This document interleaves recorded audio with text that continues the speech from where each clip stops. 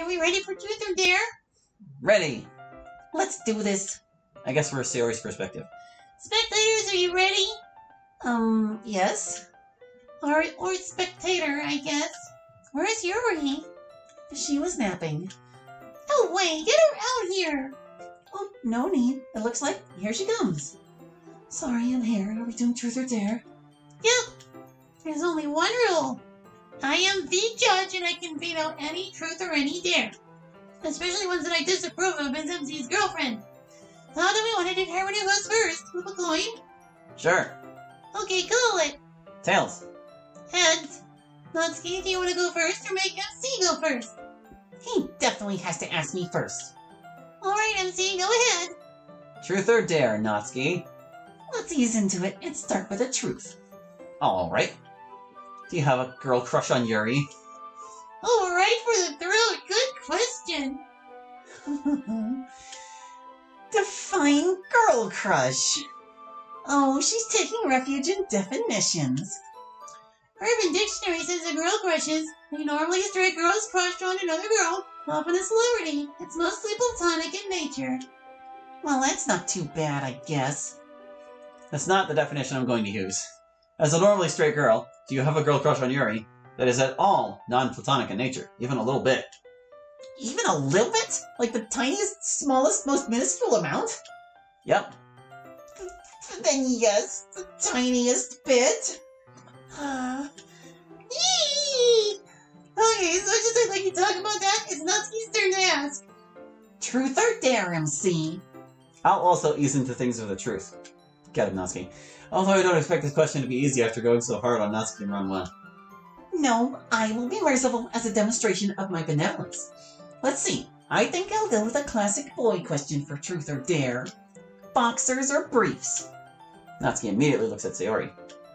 Ah, and I see from Sayori's reaction that she already knows. Good information to have. My secret plan to get the truth I was really after has already succeeded. Hey, that's not fair. Honestly, she knows since, or she's known since we were kids. She's seen me doing laundry and stuff. So you can't prove how she knows. Hmm, true. Anyway, what's your answer? Boxers, they're nice and roomy. I can see that. I'd probably wear boxers if I were a guy. Alright, your turn. Truth or dare? Let's spice it up with a dare. Hmm. I dare you to honestly answer a viewer email which Monika screened out from showing us. Oh man, that's harsh. Really? They're not that bad, are they? Well, I'll pick one at random, but they range from kind of offensive to pretty terrible. Oh, just slamming all the viewers who know their emails didn't get read, huh? So you're rolling the dice a little bit. I think I can pull it up on my phone. Hang on. Ah, here we go. And Natsuki, carpet match drapes?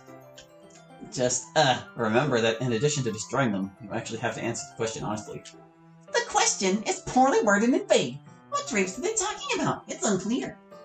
So, um, I think it's pretty clear what they mean. Ugh, fine, you pervs. Look, bunny, my hair is pink. My eyebrows are pink. You can probably figure out the pattern. Ugh, good enough. They're satisfied? They're satisfied. Sorry, I wasn't expecting it to be quick, that in- intrusive. Do you get a lot of emails like that, Monika? Hmm, definitely at least a few each week. I just ignore them. I don't mind if they ask us slightly risque stuff if they're polite and respectful about it. But if they go overboard or if they're jerks in the way they ask, they just get trash canned. And when we answer emails during meetings, I would never show a borderline email without clearing it with the club member first. Right, but this isn't a club meeting and this is truth or dare. And now it's Natsuki's turn. Truth or dare, MC? You gonna stick with dares or chicken out and stay on truths? I'm going to stick with truth for now. Alright, but I'm judging you so hard right now. Truth. If you had to make the player's choice and pick me or Yuri to be your girlfriend, who would you pick? Whoa, nuh-uh, no way. That question is potentially hurtful. I'm gonna veto it. I wouldn't be offended if you chose Natsuki. Yeah, and I wouldn't take it hard if you chose Yuri either. I think it's fine. No, I am the judge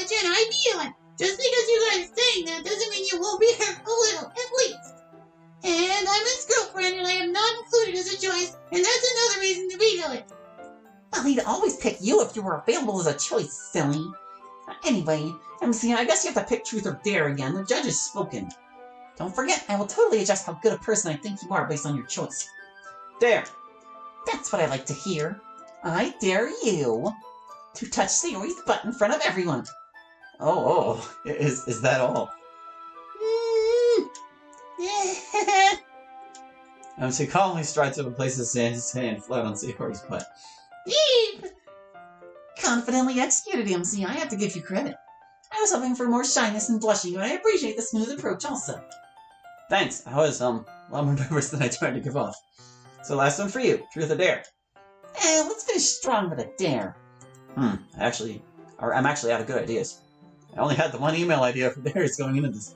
Let me see. Ah, got an idea. MC gets a piece of paper and starts writing something on it. From somewhere. To Natsuki. You have to read what is written on that piece of paper aloud and enthusiastically without any sarcasm. Natsuki reads the paper. You're a monster! I expect a wholehearted performance. Natsuki takes a deep breath. Hi, everyone. It's Kawaii Girl Natsuki here. Aren't I just super duper cute? I may be kind of gruff at first, but don't worry, I'm sweet and lovable underneath. And I have mentioned that I'm ultra cute. But but don't think that just because I've been talking to you means that I like you or anything, baka. Humph. There, done. Sayori, Monika, and Yuri have all stood up and are applauding and cheering. You horrible bastard. Now, truth or dare? Well, I'm kind of scared how, of how you'd escalate from the butt patting if I let you do a dare on me, so truth. Oh, you think I can't be cruel with a truth also? Tell me, MC. Have you and Sayori done it yet? Th- That's vague. Then what? Oh, now it's MC who's trying to use definitions to hide. Um, yeah, the question's clear enough, MC, and you should answer it as is. I command it. Th- Then no, we have not. Damn, but you've done something. I should have asked what base, or what base, wh- wh- what? I should have asked what base you guys were at. Instead, I got greedy and went straight for home run. If I only had one more question. Well, everyone, that's all the time we have for today. Thanks for playing Truth or Dare. Bye. Wait, hang on. What if? Nope, bye.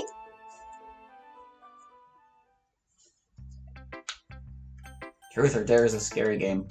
Yuri, let's hang out with her. Fascinating. Hmm. Game's on your right now. Notices requested. Oh, oh, hello. Oh wait. It said game's on you right now, didn't it? Game's on you right now. Okay. I've said you're right. Stupid. Mary notices a few of the crayons have visitors glancing at her. She gets out her phone, points it at herself, and starts talking in a much softer voice. Welcome back. Thanks for following my channel, and today we're going to be taking an educational trip to the aquarium, everyone. The few people paying attention to her roll their eyes and go back to what they were doing. Sorry about that. It's tricky to talk to you in a public place like this without people becoming alarmed. But I really did want to take a trip around the aquarium with you.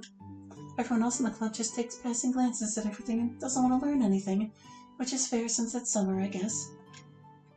But I wanted to spend some time seriously engaging with the exhibits and talking about them with someone. And Monika said she wouldn't mind if I spent some time with you, so yeah. Yuri again looks side to side to gauge how far away she is from our other guests. What we have here is an oarfish, specifically Regalecus glesne. I have no idea if I said that correctly. Most people find oarfish a bit ugly, but I think they are wonderfully beautiful creatures. Are you going to post a picture of one so I can see too, or are you just going to keep talking about it? Nope. Because they're not seen much in the wild because they tend to stay at medium shallow depth. That's because that's where their usual prey, shrimp and krill and small squid, are usually found. Usually usual. They're fascinating to watch here in the aquarium, though. They look a bit like long, fluttering ribbons waving in the wind. The info plaque here says that they're actually the longest bony fish in the world. Yuri heads over to another exhibit. I know, look at this. The tank is full of tiny little creatures, an inch or two long, flashing lights of various colors along with little strips on their bodies. They're so beautiful. The tank says that they're called comb jellyfish. This one specifically is Beroe abyssicola. It looks like they move by fluttering these little comb structures along their bodies. I guess that's why they're called comb jellies. I wonder what they use these rainbow lights for. Maybe attraction or something? Ah, it says they don't actually produce the rainbow lights. Their combs just reflect or refract like a. Words. Their combs just refract light like a prism. How interesting. Oh, and it says they mostly eat jellyfish and other soft, slow-moving prey, including each other. Smaller ones often prey, are preyed on larger ones by just floating up and taking a huge bite out of the bigger one. That's freaky. How brutal. Ah, coral. Yuri spends some time staring at the coral formations. I love coral. It's beautiful, of course. But the way it takes decades just to add an inch or two of coral, it grows so carefully and painstakingly. It makes it feel very delicate and precarious, or precious. I try to say precarious, and we're treated so awfully. Sometimes I worry that by the time I get old, coral will be almost extinct. Oh, which is especially sad since coral is so important as an environment for other sea life to live in. Hmm. Sorry, I get easily troubled by things like this. Humans have been given such gifts, and we treat fellow life so cruelly. Sometimes it's hard not to detest one's own species. Anyway, humans made this aquarium. Many of them are working to fix problems like that, so I guess they can't all be bad. Come on, let's move on to the next spot. Wow. Oh my gosh, oh my gosh. Those are tiger sharks. Galeocerdo cuvier. And over there are some butterfish. Synopsis anabala. And, and, A giant manta ray glides slowly above the aquarium tunnel. Yuri stops listing off scientific names for the animals and seems lost in some kind of aquatic reverie. Her eyes are watering. this, this is so amazing. Sea is so wonderful. Hmm. The sea is everything. It covers seven tenths of the terrestrial globe. Its breath is pure and healthy. It is an immense desert where man is never lonely, where he feels life stirring on all sides. The sea is only the embodiment of a supernatural and wonderful existence. It's nothing but love and emotion. In it is a supreme tranquility. The sea does not belong to despots. Upon its surface, men can still exercise unjust laws, fight, tear one another, tear to pieces, and be carried away with terrestrial honor horrors. But at thirty feet below its level, their reign ceases, their influence is quenched, and their power disappears. Until, like, a ship wrecks and f- floods the ocean with oil or some other disastrous substance. You know how it is. Ah, sir, li- live, live in the bosom of the waters, and only is independence. There I recognize no masters. There I am free. Yuri closes her. Yuri closes her eyes and stays silent for about a full minute, she said to herself for some reason.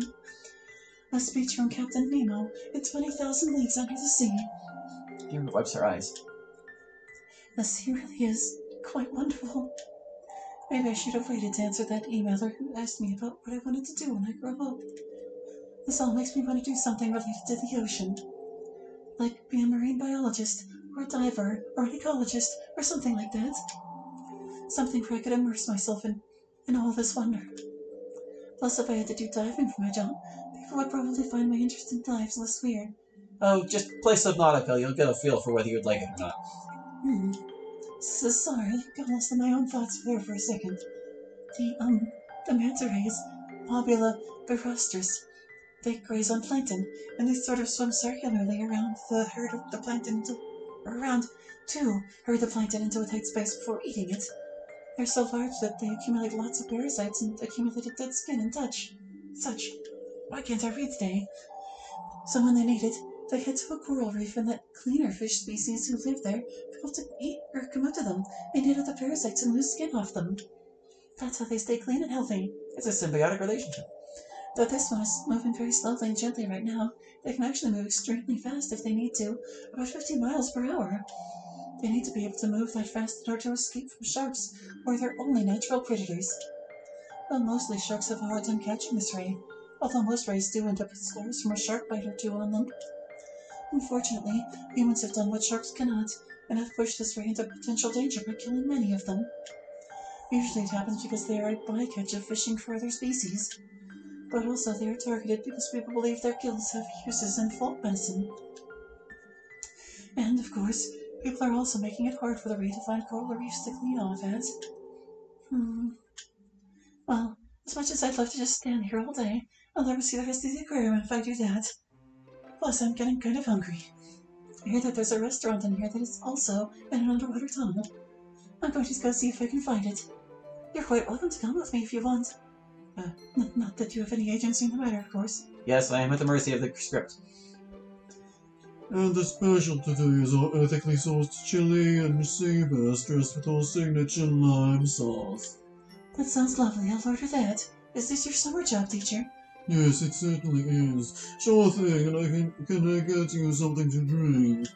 Oh, um, just water is fine. I'll have this right out for you. Thank you. Hey, um, I got a table far away from everyone else so I could speak freely. I just wanted to say, thanks for coming along with me today. I know I can be a little pedantic and boring sometimes, but it's nice to have someone to talk to about all this academic stuff. The club mostly isn't interested, rather than Monika sometimes. Hopefully you weren't too bored. I would offer to get you something to eat if it weren't impossible.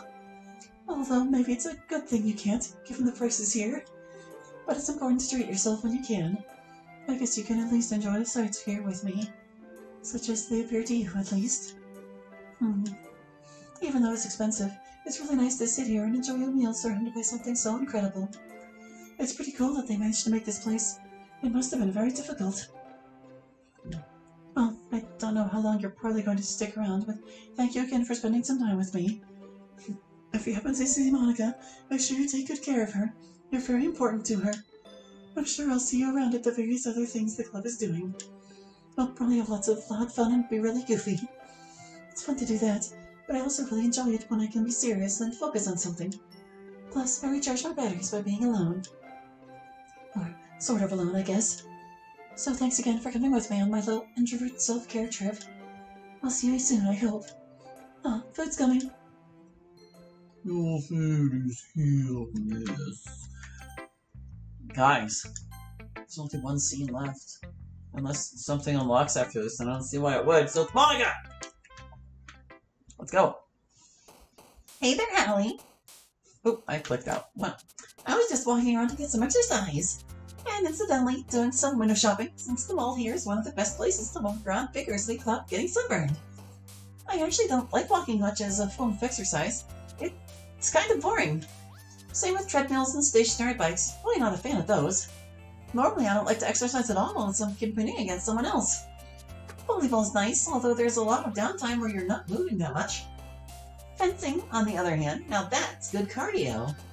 Plus, it's quite good for your leg muscles. But yeah, nice to exercise while your mind is focused on strategizing. That way you're not just focused on how tiring it is. That's Monika's exercise tip of the day. Anyway, I could use a break from walking. Maybe I'll actually shop. I wonder where I should look. Any ideas? Oh, so many. We'll start with ice cream. Ooh, ice cream. I'm to get mint chocolate chip. It's not my super favorite, but I'm definitely in the mood for it now. And all done. That was delicious. Good call. Well, back to walking, I think. I'm going to head back to our bungalow. I'll see you over there, maybe. I hope so. I've kind of wanted to talk to you about everything that happened this semester. Just those few lines of dialogue for that entire option? Well, you know what? Since they're so short, I think I'm gonna head back to the menu and try to get more of them. yes, we're gonna lose the unsaved progress. It's all gone. Um, can I just load up that menu again? I can't. Visit Monika. I was dissatisfied by that ice cream option. We're ready to get back to it though. I could just click skip, couldn't I? Yeah, I could. We're here now, so it's fine. Save. Save right there. Turn. Ice cream was disappointing. Let's go to the fashion boutique. Hmm, I guess I could use some new clothes. Uh, eh. Why am I not in here? Or maybe you're hoping to have me try a swimsuit. Let's see what they have here. And all done. They're all super short. We're gonna load up again. Yes, we are. Go to the general store. Actually, I think this same store is the one where I got my pen. You know, the heart pen I always have. Maybe I should get that or get a backup just in case. That pen ended up being really symbolically important to me. That was the best one yet. We're still really short, so we're gonna do the last one too. Yes. I'm not dragging this up, I promise you. Haha, this is the Literature Club, I guess. I don't read nearly as much as I should. Maybe I can find something interesting browsing around. More interesting browsing around. And all done. The correct answer was number three, where she gets the pen. I found a neat science book. It's called The Emperor of All Maladies, and it's sort of a history of cancer, it sounds like. Weird topic, maybe, but I was hooked thumbing through it, so I had to pick it up. Well, back to walking, I think. Oh, I guess there was other stuff we could have seen. You know what? I'm not going back for it. We're going. Back, we're going to the bungalow. You want the other stuff? You put much still. It's evening, and Monika appears to be depressed. Hey, Sayori, why don't you come here for a minute? yeah. Hey, you guys want to come watch TV together? Yeah! I'm in. I guess I've made enough progress on this. I'll watch for a little while, but only one show. Then we have to do something else. All right, all right. The rest of the club seems to be having a good time, but Monika seems removed and melancholy. Hmm. Oh, there you are. I was wondering if you were ever going to come back. Did you go anywhere else between the mall and here? No. Straight here. It was lingering here while I could hear the others. I mean, this is technically true. That's strange. I wonder why the game showed you that. I can never predict what it's going to do. Next time I ought to just bolt the game to me when I'm ready to talk to you. You can do that? But I try not to do that too much. Feels too much like an abuse of power. But anyway, you're here now. I've had a pretty fun afternoon. I've been reading through that book on cancer that I got. Man, cancer is complicated. And it seems like trying to cure it is much more difficult than I thought it might be.